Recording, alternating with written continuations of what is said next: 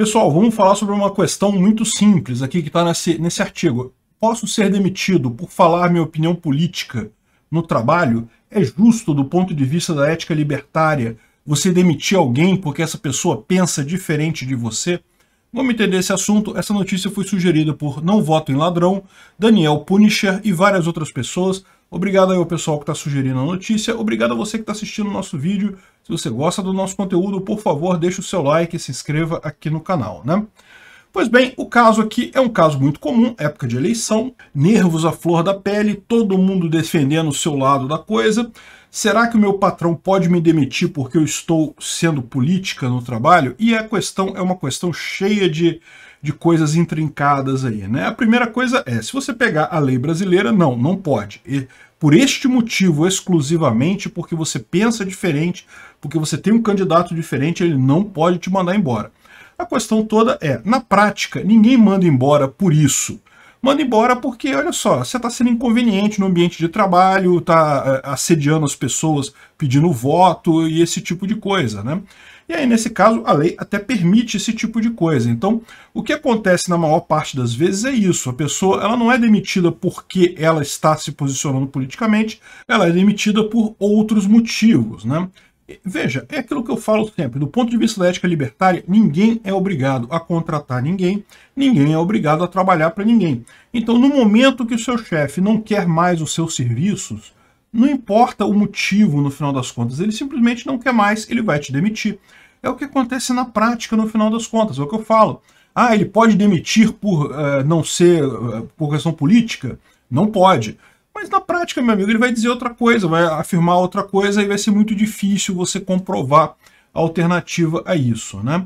Do ponto de vista da ética libertária, é isso. Não, tem que ter motivo. Você, o patrão, como a relação de emprego é uma relação voluntária, tanto o patrão quanto o empregado, se não estiverem satisfeitos com a opinião política do outro, podem encerrar a relação de trabalho, né?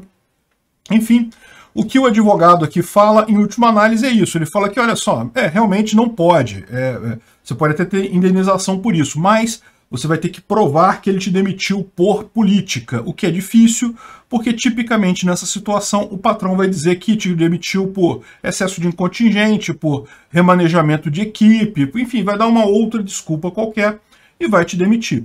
E uh, provar isso na justiça é muito difícil. E outra coisa que ele coloca aqui que eu acho interessante é o seguinte: é, uma situação que o patrão pode te demitir, inclusive na, na legislação positivada brasileira, é se você está pedindo voto, está enchendo o saco das outras pessoas pedindo voto, porque aí a questão não é o seu posicionamento político, é a, a forma como você está agindo no ambiente de trabalho. Você está contaminando o ambiente de trabalho com a questão política. Você se expressar na rede social, falar a opinião que você tem de política, não tem nada errado. Isso aí é seu direito, em tese, não tem problema nenhum. Mas, de novo, do ponto de vista da ética libertária e na prática, é o que acontece na prática, se o patrão não gostar, meu amigo, ele vai acabar te demitindo. A verdade é essa, né? E bom, a gente tem um monte de casos que aconteceram aqui recentemente, mas, curiosamente, ao contrário do que muita gente pensa, a maior parte dos demitidos ou dos cancelados são apoiadores do Bolsonaro. Por quê? Porque aquilo que eu falo para vocês, a maior parte das grandes empresas, principalmente na área de comunicação, são ligadas à esquerda e não gostam nada, nada quando o pessoal expressa opinião favorável a Bolsonaro. O que aconteceu nos últimos dias? Com, os enormes, com as enormes manifestações de 7 de setembro, um monte de gente saiu do armário, começou a falar sobre política. E, infelizmente, a gente sabe, né? É, certamente o pessoal aqui está reclamando, muita gente aqui é petista reclamando porque acha que o patrão está demitindo porque ele é petista. Mas o que acontece mais, na maior parte das vezes, é exatamente o contrário. O caso aqui da Jaqueline Grohowski. Eu confesso que eu não conheço ela, parece que ela é uma ex-Big Brother Brasil, e ela atualmente é apresentadora de um reality show LGBTQIA+ seja lá o que significa isso. E o, a equipe do, desse programa, ela fez um tweet. Olha só, aqui é agro, aqui é Rondônia, é, isso é muito melhor para o, para o norte, vamos e coisa e tal, cantando o jingle do Bolsonaro e do candidato dela lá em Rondônia. Enfim, uh, ela se posicionou a favor do Bolsonaro. E aí a equipe do Cruzeiro Colorido, que é quem uh, produz esse reality show LGBTQIA+, disse que uh, deixamos claro a importância de todas as conquistas e necessidades e temos mais pautas abordando políticas públicas sérias e coisa e tal. Esse é o nosso compromisso, diversidade, coisa e tal, e demitiram ela. Agora eu te pergunto, olha que coisa curiosa, porque no final das contas, o que, que Bolsonaro fez contra a comunidade LGBTQIA? Eu sei que a esquerda adora colar no Bolsonaro o rótulo de homofóbico, de que ele seria contra as minorias e coisa e tal. Mas a verdade é que, em tese, ele não fez nada contra. Ele manteve todas as eventuais conquistas aqui, coisa e tal, do mesmo jeito, não teve problema nenhum. Então, olha o que aconteceu aqui, foi exatamente o que o pessoal está falando. Ela foi demitida exatamente por ter se manifestado politicamente. Olha que coisa curiosa, não é mesmo? Se ela vai entrar com um pedido de indenização ou não, a gente não sabe. Isso é uma decisão dela, né? É o que eu falo, entrar na justiça por qualquer coisinha é um negócio arriscado no final das contas. A pior coisa que pode acontecer com você é você ficar marcado como aquele cara que entra na justiça por qualquer coisa porque no final das contas ninguém vai querer fazer negócio contigo. Para para pensar, é apenas o óbvio. Se você entra na justiça por qualquer coisinha, né, é, é muito diferente do caso em que o patrão descumpre uma regra. Combinou com você pagar X, pagou Y. Te demitiu, não pagou o que estava previsto no contrato. Aí sim é uma coisa que eu não tenho o que dizer. Tem que entrar na justiça, tem que reclamar.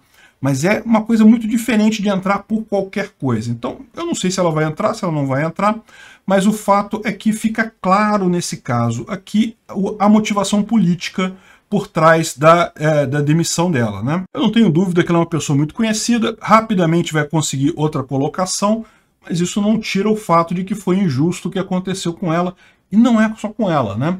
Olha só, aqui lá na Inglaterra estão reclamando porque o Lucas Moura, que é do é, joga futebol no Tottenham, ele deixou claro a sua posição de direita, né? ele é de direita, porque ele disse que comunismo não é diferente do nazismo.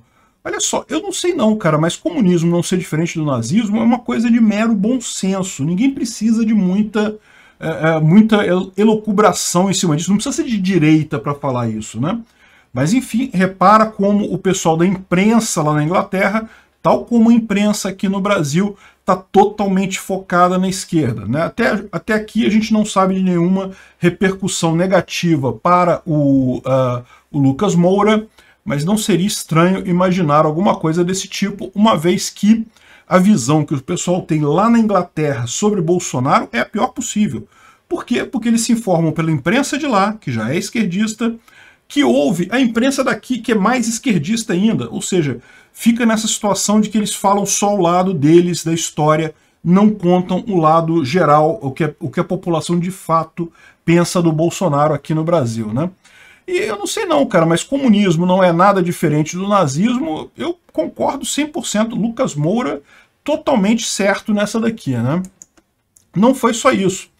Parece que houve um problema é, entre as jogadoras de vôlei, a Tandara ela teria, a Tandara, é, essa menina aqui é número 11, ela teria publicado na rede social uma, uma crítica ao desenho infantil da Peppa Pig, né? Então, essa crítica é uma crítica que, olha só como é que estão dizendo aqui, ó, postagem homofóbica de Tandara. Isso é um absurdo com ela. Eu vou explicar qual é a questão aqui. A Peppa Pig, que é um desenho infantil para crianças muito pequenas, retratou um casal homossexual no desenho. E uh, olha só, eu, eu, sou libertário, eu não tenho problema com isso não, eu acho que não tem problema nenhum. Se você não gosta da Peppa Pig, você não assiste a Peppa Pig, você não deixa seus filhos assistirem a Peppa Pig e problema resolvido. Deixa eles colocarem a agenda que eles quiserem lá.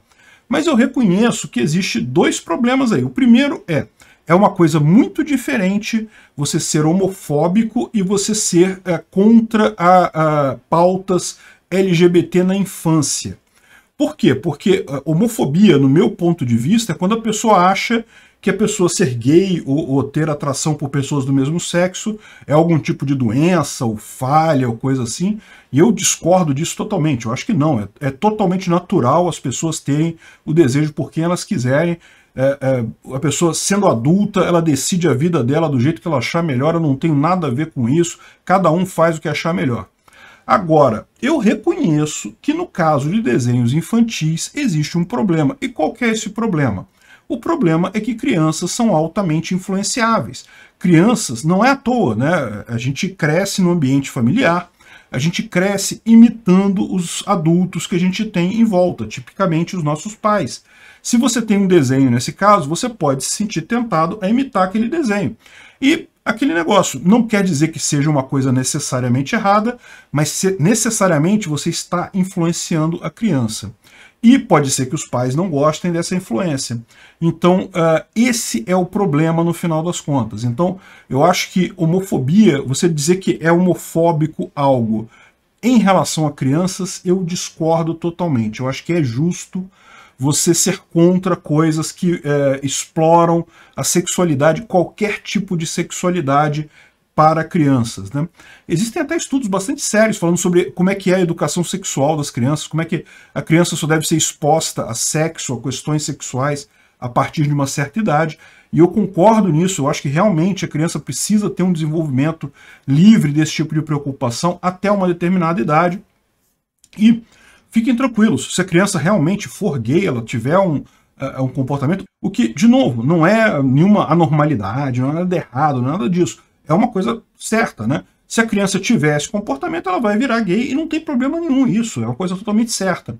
A questão toda é você justamente começar a, a introduzir esse tema muito cedo na vida da criança, o que pode sim levar a problemas aí na, na, concepção de mundo dela, né? Então, é aquele negócio. Eu, sinceramente, não vejo problemas nesse caso aqui, mas eu entendo a preocupação da Tandara e uh, acho injusto que classifiquem essa preocupação dela como homofóbica, porque não é homofóbica. É uma preocupação infantil, uma preocupação com a educação infantil. É outra coisa totalmente diferente, é como eu vejo esse caso aqui, né? Enfim, ela também não teve nenhum tipo de repercussão em termos de perder emprego, pelo menos por hora, mas está tendo um monte de protesto nisso daí, e eu, eu particularmente acho que ela está certa neste caso. Né? Isso você vê o problema que realmente é esse tipo de coisa. Obrigado por assistir o vídeo até o final. Além de curtir, compartilhar e se inscrever no canal, considere se tornar patrocinador com valores a partir de R$ 1,99 clique no botão Seja Membro abaixo para saber as condições e vantagens de patrocinar o canal. Mais informações sobre o nosso projeto, visite nossos sites indicados na tela.